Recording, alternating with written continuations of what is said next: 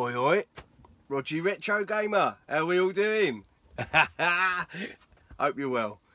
We're going on to D's in amongst my Sega Master System collection. You have to excuse the voice a bit, I'm a bit croaky. I've survived the great man flu pandemic of 21. Just about. It's just just leaving me now. It's not the Rona. It's, it's some would say it's worse. It's man flu. anyway, um, once again, we're looking at D's now. We have a special guest. Oi oi. we got the Vimto out, so let's crack on. Um, in at number one, Daffy Duck in Hollywood. It's a platformer. What more do you want? It's the nuts. I absolutely love this. 18, le 18 zones, 6 levels. Well worth a playthrough. Great little game. And um, what I think is where the where the Master System shines. Platformer. Absolutely brilliant. So um, yeah, real good game. Can't rec recommend it highly enough. Next one. Danan. Danan, Danan. The Jungle Fighter. Well, what can we say? I, I haven't really played this, I'll be honest. Um, but looking at the back, it looks a bit mellow RPG, sort of Metroid Castlevania-ish. So, um, yeah, look forward to giving that a blast. I don't know how well the old uh, screenshots will come out on there. What were these silly baggies? But unfortunately they've got to be done. So, uh, Danan, Danan, Danan. Dead Angle. Now that's proper box art. Look at that bad boy. Dead Angle. Got Quality. Wicked. Six rounds. The mob has swiped your girl. You're the meanest private I ever to hit the big apple and you're going to get her back. Yeah, but the, but the mob is waiting with Tommy guns and other nasty surprises. Can you save her from the big sleep? Sounds pretty good. um, again, unfortunately I've not played this. So um, apart from a quick five minutes to um, make sure it works. So uh, I look forward to giving that a blast.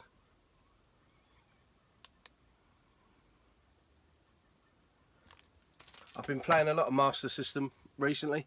Um, this really has, I've said it before, it's, it's reignited love for Master System. Having a look through my collection, watching Retro Red Steve, get to know, um, there's so many. Zanoni, um, 8-Bit Boy. I mean, there's there's been so many doing the Master System challenges. Even Ink Northerner, um, he's been getting in amongst it. Um, so yeah, uh, it's reignited my love for the Master System. Look at that for box art. I loved DuckTales on the NES, but I must be honest, these these are just as good, but in a different way. Brilliant. Look at that. One player. But look at that for box art, you know. Beautiful bit of colour. They've done a little cheeky, cheeky screenshot on the, well, bit of artwork on the side. I love that. Brilliant, great stuff. Deep Duck Trouble, starring Donald Duck. Um, another great one. Desert Speed Trap. Roadrunner versus Wile Coyote. Again, one player. 93 that come out. Look at that! It was great fun. Be nice if they started to release these. Not not remasters, but you know what I mean. Get get back some old school platforming with these sort of characters. You know, get some humour in it some silliness. Look at that. great game. I haven't played it in a long while, but I did give it a real good blast years ago. Desert Speed Trap, brilliant. An absolute classic, yeah. By Domark on the Master System, Desert Strike. And it was a pretty good, pretty fair sort of port, really. Obviously, we all know and love the, the Mega Drive, but um, look at that. Looks wicked. 27 missions over four levels of difficulty. One player.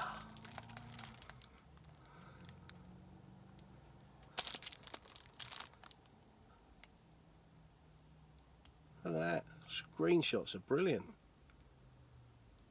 Nice. Yeah. Desert Strike. Bit of Dick Tracy.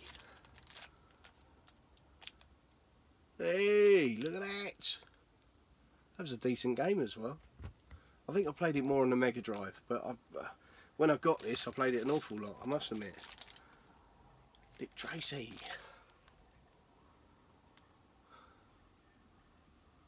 Sorry if you're not paying much attention to this. Don't get all excited. It's, it's my heavy breathing because I've got a cold. Man flu. Rather than um, any naughties going on in the background. Look at that. Six rounds. Dick Tracy. Quality stuff. Now, I absolutely love these on the NES. And um, it's a good enough port, but um, I just have so much nostalgia for 1, 2 and 3 on the NES. But it was a bloody good port, I thought, on the on the uh, Master System. For one or two players was it Bimmy and Jimmy or something when um, made that cock up. I don't know if that still um, is on this one, but using the ancient oriental martial art of Kenpo, fight your way through this through a city controlled by ruthless, ruthless gangs of thugs. Yeah, 1988. Bloody hell. Look at that for 1988. Christ. Great little game. I actually played it during um, during the lockdown last year on, on my PSP that's fully loaded, the Mega Drive version. And um, I don't remember completing it an awful lot back in the day, but um, but I was well chuffed to complete that last year, and I, I, I realised there ain't much to it. It's quite a short game, really, um, but decent enough. This is quality. This is proper 80s, 90s box art. Look at that. Double Hawk. Arnie and Sly on there, surely.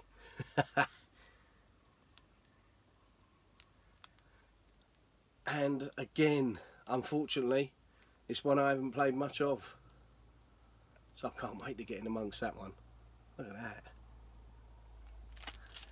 Box porn all, all the way there.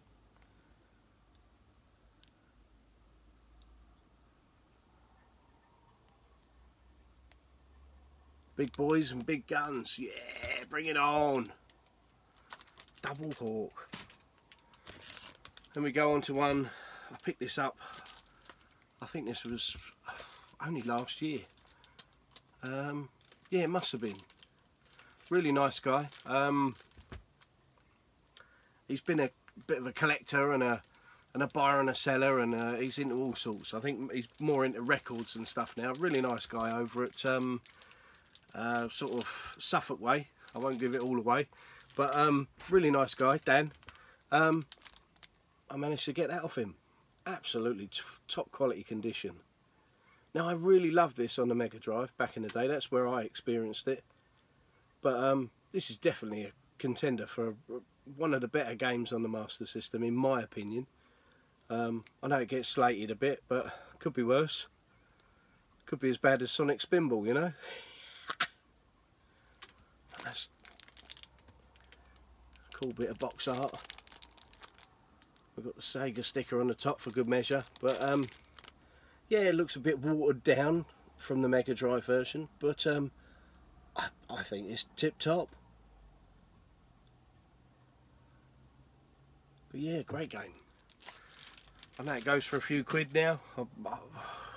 It went for a few quid when I bought it. I can't remember how much I paid, but it weren't it weren't cheap by any means. Um, this is one I just love. I love the film. Um, the actor in it, Jason Jason Scott Lee. Um, I'm sure it was him. But I must have watched the film back in the day 20, 30 times. And um, absolutely bloody loved it. Dragon, the Bruce Lee story. Absolutely brilliant. And it's such a, I mean, that was as good a actor as you could get for the, the, the type of film and the the um, the character portrayed. So um, I absolutely loved the film. That's absolutely brilliant, and um, bit of a a dark spinage. I love that when they put a different colour on the box just to freak everyone out. Bit of an oddball. Look at that. It's a decent game as well. Certainly put a few decent hours into this. Really enjoyed it. Really enjoyed the Mega Drive version and the Master System one. Tip top. Um, this next one, Dragon Crystal. Again, I haven't played it. It looks like it could be a bit Golden Axe Warrior or like a Zelda sort of a NES version of a Zelda. Um, you'll pass through 30 worlds in search of some magic, in search of the magic goblet. Uh, goblet, sorry, getting all bunged up. In need of a, a Vimto break, I reckon. Um, looks cool. I thought I had this on the Game Gear, you know. I think it was one I had on the Game Gear. It, it might have been, or it, I might have been thinking of a pinball game, but I'm just thinking, looking at that. Anyway, Dragon Crystal. I'll have to let you know what I think of it, or let me know what you think of it. If it's worth a playthrough, I'll put it up there at the, the top of the list to, to have a go on. So, um, looks pretty decent, must admit. Looks pretty cool. But um, yeah. Then we got Dynamite Duke.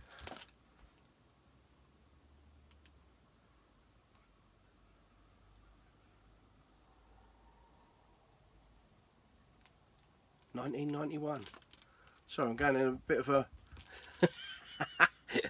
having to ponder at the box art. You know, a lot of these games I've I've looked at when I've picked them up. I've had a quick five minute play of them, and then just lobbed them on a shelf and it, it's bloody criminal. So a lot of these games this is it's like I haven't seen them before you know? So um, and that's where I've been going wrong. Need to kick kick my own ass and um, get in amongst it. But Dynamite Duke look at that.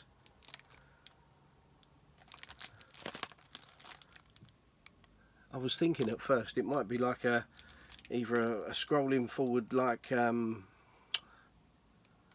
almost like a uh, it's got a 3D sort of look to it. So it, it, could have been like a Space Harrier type idea or or just a one-on-one -on -one 3D effect. Anyway Dynamite Duke.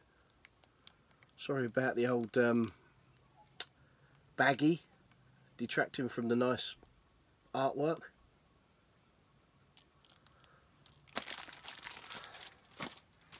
But, um, there we go. Dynamite Duke and then lastly for the D's, Dynamite Dux. Now I've recently been playing the arcade version of this on the um, Coin-Ops Xbox that I've got. And um, as silly as it is, I've really enjoyed it. Dynamite Dux. Or Dukes. But I would have thought it's Ducks. In God's country this way, it's Ducks. Alright, in it. Look at that lot. Yeah, it's great side-scrolling sort of um, duck 'em up. yeah, it's decent enough. Um, obviously, I've been playing the arcade version, which is no doubt much better. But um, I'll tell you what, looking at the screenshots, it, it, looks like they've done a bloody good job. So, um, so yeah, looking forward to giving that a blast. Dynamite Dux. Anyway, I need to go and sort myself out, have a bit of Vimto, and um, maybe I'll be back again in a little while with um, with E's. Anyway, take it easy. I'll see you again soon. Thanks a lot for watching. Take care. Bye.